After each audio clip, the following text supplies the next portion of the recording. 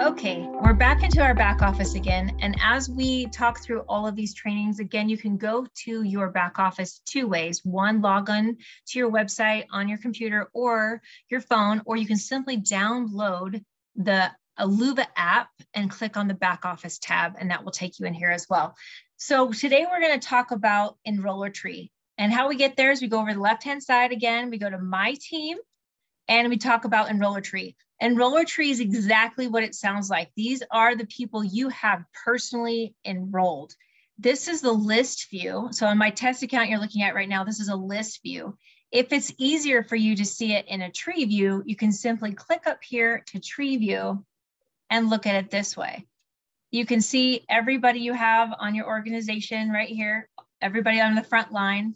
Um, you can also see the difference between a retail customer and a, an influencer by the color of the tab. See, there's a little thing up here, the blue, light blue, that's a customer.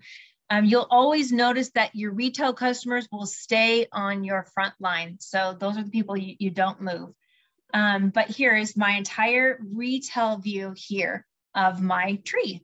So a tree view of my enroller tree, that's what we have right now. So that's how we find it, my team enroller tree.